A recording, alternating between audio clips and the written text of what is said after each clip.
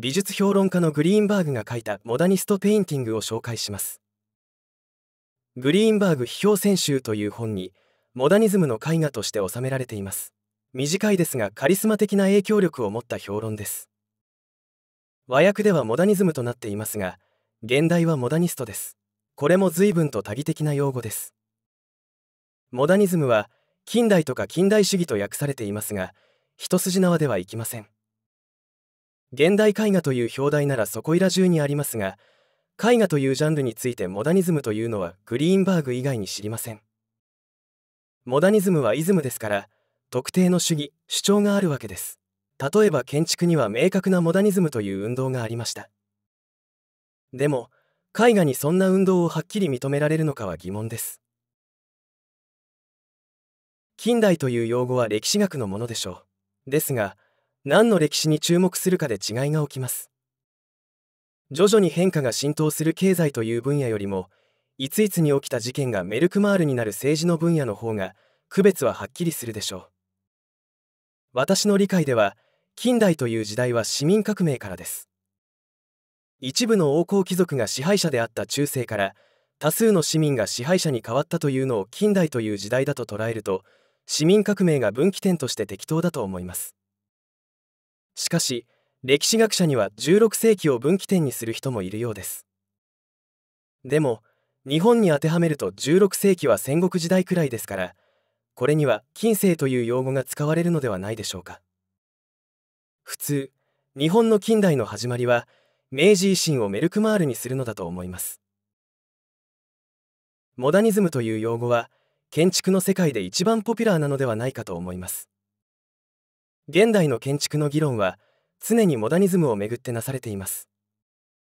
画面に出したミースの美術館のように装飾を排除し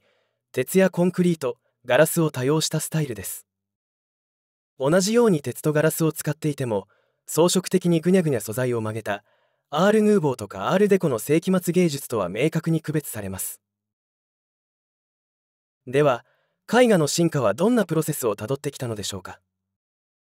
ものすごく大雑把に言うとぺったんこな二次元的表現からリアルな三次元的表現への移行です。薄い紙の上に嘘の奥行きを作る技術の探求と言っても良いです。そこには遠近法とか明暗法とかいろいろなテクニック的な発明を含んでいます。ルネッサンスのあたりで疑似的三次元空間を作ることはほぼできるようになりました。その後の数百年は疑似的三次元という絵画空間の中での活動になります。それが20世紀になるとそれまでとは逆転する動きがはっきりしてきました。リアルな3次元的表現から2次元的表現への変化です。ここで今回の主役であるグリーンバーグの登場です。 Modernist Painting という評論の主要なキーワードが flatness つまり平面性なのです。グリーンバーグは絵画の中での近代を平面性を中心に分析しようとしたのです。Modernist Painting を書いたグリーンバーグという人ですがどんな人だったのでしょうか？一言で言えばアメリカ東海岸の美術シーンのドンです。アバンギャルドとキッチュという評論で注目されましたがそのタイトルにあるように前衛芸術を称賛しポップアートを俗悪なものとして冷たい視線を向けた人です。ただこれには時代背景もあってユダヤ移民の彼としてはナチスやソビエトがアバンギャルドを弾圧し国策美術を進めたことへの批判がありました。 Modernist Painting の内容に入っていきましょう。モダニズムという用語はいろいろな使い方がされるうちに人によって内容が違ってきています。グリーンバーグも彼独特の意味付けをしています。それが英文で書いた部分です。セルフクリティカルテンダンシーは自己批判的傾向と和訳されていますが英語のクリティカルは否定的なニュアンスを前提とするものではないので気をつけましょう。外国語を訳したものが意味不明になるのは日本語の語感先入観のせいで混乱してしまうケースが多いです。ここでは自分を振り返る癖のように理解した方がいいです。モダニズムは自己批評という特質にあるとグリーンバーグは言いました。自己批評というのはどんな内容を持つのでしょうか？一つに彼はあるディシプリンを批評するのにそのディシプリンを使うことだと言います。ディシプリンという英語を辞書で引くと規律とかしつけという訳語が出てきます。でもそういう意味で使われることはあまりありません。むしろちょっと格好をつけて何かのやり方方法論みたいな意味が多いと思います。つまりある方法論を考えるときにはその方法論を使うべきだということです。それほど難しいことではありません。数学を議論するときに数式など数学の言語を使わずに音楽を使ったりしませんよね。絵画を考えるときには言葉などではなく絵画というやり方方法論を使うということです。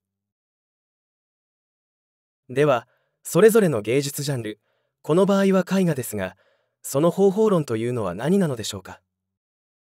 もちろん絵画なので絵を描くことですが絵なら何でもいいというわけではありません。その芸術ジャンルにとってそれを外したらそのジャンルの作品と言えなくなる本質的な方法論を取りなさいと言います。それがユニークイレデューシブルという表現です。ここが結論になります。この要素を外したら絵画とは呼べなくなる要素とは何でしょうか？グリーンバーグはそれをフラットネス平面性だと言います。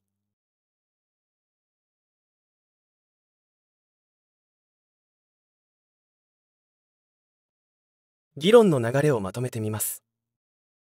モダニズムには自分で自分のことをあれこれ言う自己批評的な特質がある。芸術ジャンルでの自己批評はそのジャンルの本質的な方法論を使うべきである。では絵画にとって本質的な方法論は何かというとそれは平面性である。こんな感じになります。ではグリーンバーグ的な帰結はどんな風になるでしょうか。モダニズムの時代絵画はきれいに描けたから褒めてもらえるものではなくなります。モダニズムの時代では絵画は絵画そのものとは何かを問うている時絵画を考える時は言葉ではなく絵画というやり方で絵画に本質的な平面性によって考えている時褒めてもらえるということになります。これは建築家である私にとってはよくわかる内容です。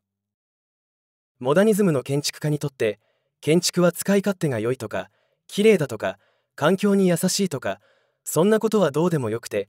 建築とは何かという大冗談に振りかぶった問いを建築作品で答えるということが使命とされているからです。では今回はこれくらいにします。